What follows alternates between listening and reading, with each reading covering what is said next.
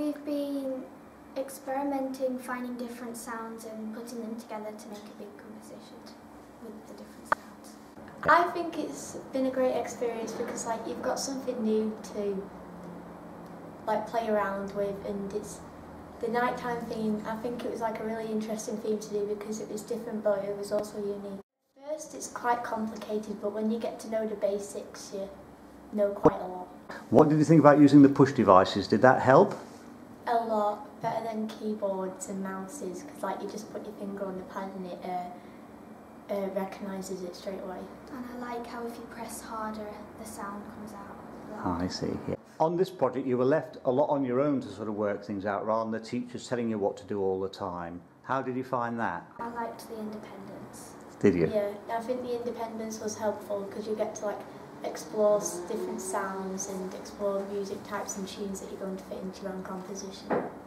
We chose different sound stuff, but we also got to record our own sounds to add in as well. But there were loads of effects that we could choose to make them sound echoey or repeated.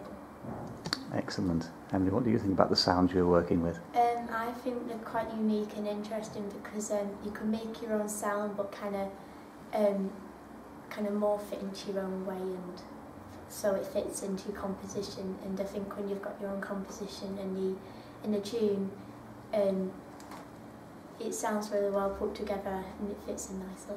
There were also lots of different choices of sounds. Like Hmm. there's not just one or two.